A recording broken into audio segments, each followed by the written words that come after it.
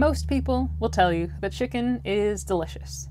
Many of us are raising our own chickens so that we can responsibly enjoy the gift of their meat and savor the succulent flavor of a real pasture raised bird. But the appreciation of the Epicurean delights of the chicken is not limited to the humans on the homestead.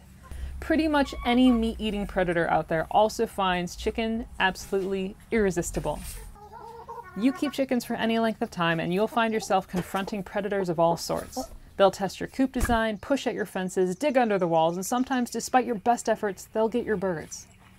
Going out to do your chores and being greeted by a pile of bloody feathers is an awful way to start the day. But it does happen. It's a big part of learning how to keep chickens.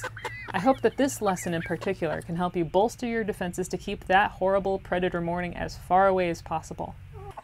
When I first faced chicken predation with my first flock of chickens, I admittedly was somewhat of a lightweight. I cried all morning over the little chicks that I'd lost from a raccoon attack. I railed at myself for my ignorance, and I declared deep hatred towards raccoons. And I had no happiness that day as I buried all the scattered bits of feet and wings that had been left behind. Now, my emotional outburst was understandable as a newbie. It was a touchstone on my way to learning how to keep livestock, that's for sure. But now, years later, instead of hating all raccoons indiscriminately, I think my perspective has matured. I know now that I need to keep my birds safe by being smarter than a raccoon. It's not their fault that they are persistent opportunists and that my first chick tractor had critical design failures. Likewise, every flock manager soon learns that part of keeping chickens is spending time outsmarting all the carnivores who want to take advantage of your delicious flock. It might feel like a battle, but as Sun Tzu said in his 5th century text, The Art of War, if you know the enemy and know yourself, you need not fear the result of a hundred battles. If you know that yourself, but not the enemy, for every victory gained you will also suffer a defeat. If you know neither the enemy nor yourself, you will succumb in every battle. So let's get to know some of the enemy. As we go through this lesson, though, remember that predators aren't evil. They're clever at surviving, and if they find food, they will, of course, eat it. Your job as flock protector is to make your birds inaccessible so that the hungry carnivores will have to search elsewhere for a meal. Now, though it's certainly a gristly topic to discuss, every predator that could attack your birds actually has their own specific MO, and knowing their habits and style will help you either prevent further attacks or avoid them altogether. So here's some of the most common chicken predators and their tricks and trademarks. We'll start with a description of the most common predators and their styles of attack, and then we'll end with ideas on how to deal with them. Now we'll start with what is, in my opinion, the worst predator of them all. I'll spend a little bit longer on it, since it's one that you'll probably have to deal with no matter where you live. And that predator is the dog. Every neighborhood is full of dogs, whether it's the yappy little Yorkie next door in the suburbs or the pack of stray and feral dogs that roams the rural countryside. Every once in a while, there's an exception to that rule, of course, but until you know otherwise, consider every dog, feral, stray, domesticated, and even your adorable, never heard a fly fur baby, as a threat to your chickens. Dogs, unlike many other wild predators, kill for amusement, especially if they are a well fed pet. To them, catch and shake the chicken is a fun game that they can play for as long as there's a bird that moves. Once the one they've currently got stops moving, they can move on to the next one and keep going. This is why a clue of a dog attack on your flock is total devastation. Every bird killed, but few or none even eaten. If a stray or feral dog is messing with your birds, they may do a more wild style hit and run, grabbing one bird and running off with it. Dogs are also intelligent enough to try to break into a coop if they think they have a chance at food. Some are quite capable diggers, and they can tunnel under the walls of a coop to gain access. Others may try to rip a coop apart. Here, I'll show you this picture. It's one of my less than favorite photos, but it's from a stray dog attack on our homestead our first year. Granted, this picture is of a rabbit tractor, not a chicken tractor, but you can see how the dog literally chewed through the plywood on the side and got my rabbits. It was also able to rip a layer of chicken wire off the top of the structure too.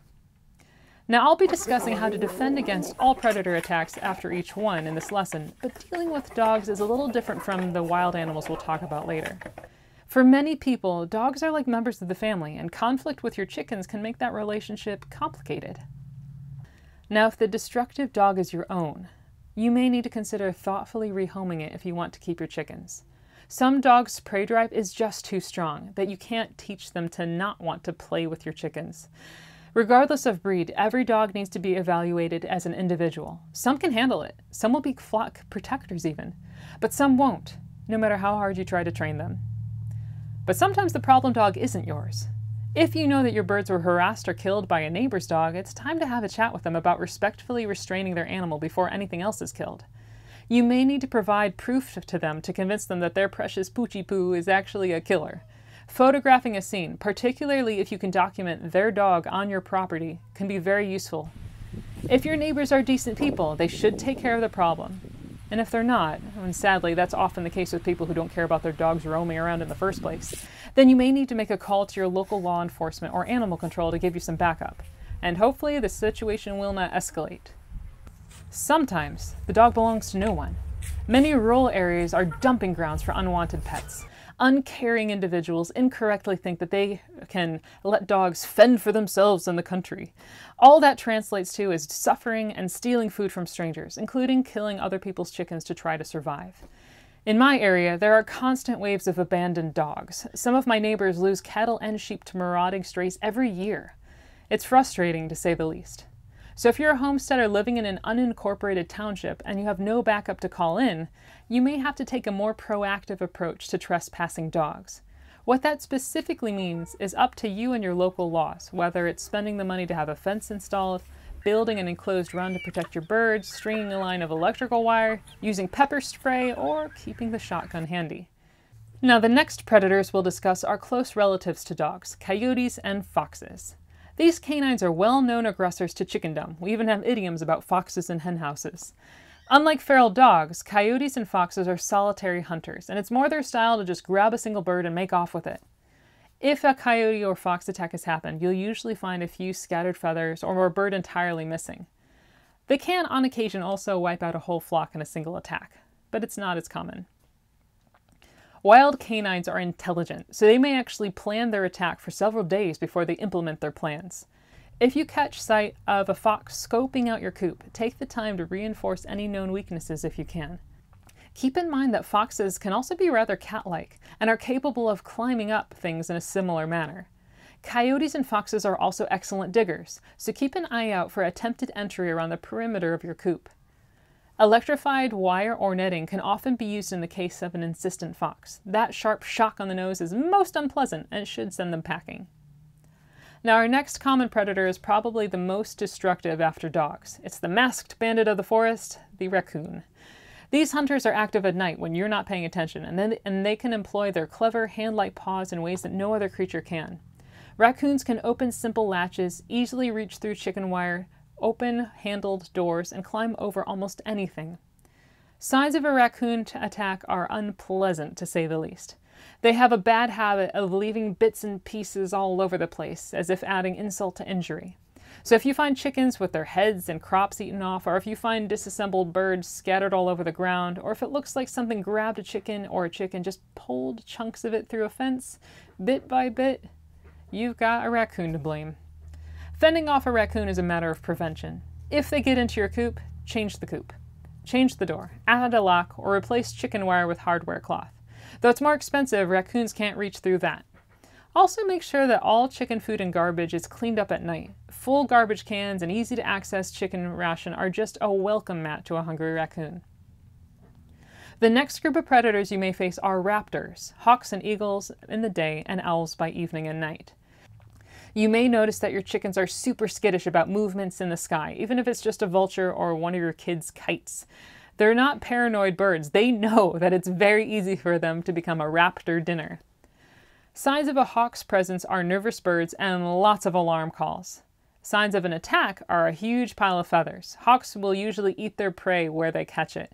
Every once in a while, a hawk may carry off its prize if the hawk is big enough and the chicken's small enough, though. Owls, likewise, will usually carry off their bird and eat it from some height. So if you notice feathers collected at the base of a tree or a post, that's a sure clue of an owl.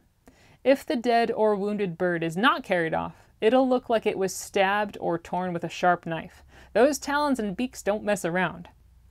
All actions you can take when it comes to raptor attacks can only be preventative. Get a flock guardian or a rooster, put a roof or netting over the chicken run and tractors, and potentially resign yourself to accepting losses to your free range flock as a normal part of every year. Hawks, eagles, and owls are protected by the Migratory Bird Treaty, so shooting and trapping them isn't an option. But don't helplessly cringe when you see those strong wings soaring overhead. Remember, these birds, like many of the predators on this list, are hugely important to controlling rodent populations on your homestead. Another predator you may face is the weasel. Typically, these rat and mouse eating hunters can be beneficial to your homestead. When food runs low, however, or when there's a mother weasel caring for a litter, your chickens might be next on her menu. The signs of a weasel attack are birds dead in the coop, with their heads either bitten off or with the back eaten. Bite marks are small and usually all over the neck and body. Sometimes weasels will even go on a killing spree and kill all the birds in the coop, depending on how many birds you have. Weirdly and uniquely, they will often neatly pile the bodies in the corner of the coop, tucking them away for later. They might also leave their calling card, which is a faint skunky smell. Some weasels can fit through a hole as small as a quarter, so if you have them in your area, be aware of any openings in your coop. Mice can actually also open up areas too, so watch for that. If you find a vulnerable area, hardware cloth can reinforce your defenses and cut off entry. And finally, as with many of our predators, clean up extra food and try to keep rodents out of your chicken's area. The mice are what the weasel's actually usually after anyway. Now, I've never dealt with bears in my neck of the woods, but I've heard stories and seen the photos of what happens when a resident ursine decides that your poultry sounds like a tasty midnight snack. If a bear wants chicken, it will get chicken, and it will take as many as it wants. You'll know if a bear has visited your coop. They're not subtle. If they've decided that your chickens are their next snack, they will tear into your coop by any means necessary. They're not petite either, so look for their telltale footprints in the soil. Honestly, I'm not really sure what can stop a determined bear. Just don't give it motivation in the first place. Those of you who live in bear country should already know not to leave food and garbage out at night, especially extra chicken feed, because for whatever reason, bears absolutely love it. Bears are not usually out hunting for chickens, but if you've provided lots of attractive edible materials for them around your coop, they'll probably develop an interest in your birds as well. Now, there are other smaller predators out there that will also mess with your flock, but not as directly. Cats, opossums, skunks, rats, and snakes will typically leave your grown birds alone. Those are big and intimidating, but cute little chicks and immobile eggs are easy pickings.